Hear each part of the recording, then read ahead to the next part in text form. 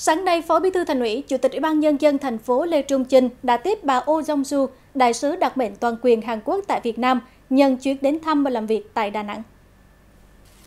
Tại buổi tiếp, Chủ tịch Ủy ban nhân dân thành phố Lê Trung Chinh chào mừng bà Oh Jong-su và đoàn công tác đến với thành phố Đà Nẵng, đồng thời cho biết giữa Đà Nẵng và các địa phương của Hàn Quốc có mối quan hệ hợp tác rất tốt đẹp và đã triển khai hiệu quả nhiều chương trình hợp tác trên nhiều lĩnh vực Chủ tịch Ủy ban nhân dân thành phố khẳng định tiềm năng về dư địa để các địa phương Hàn Quốc hợp tác với thành phố Đà Nẵng còn rất lớn, đồng thời mong muốn bà đại sứ với cương vị vai trò của mình sẽ tiếp tục quảng bá hình ảnh của Đà Nẵng đến nhà đầu tư Hàn Quốc.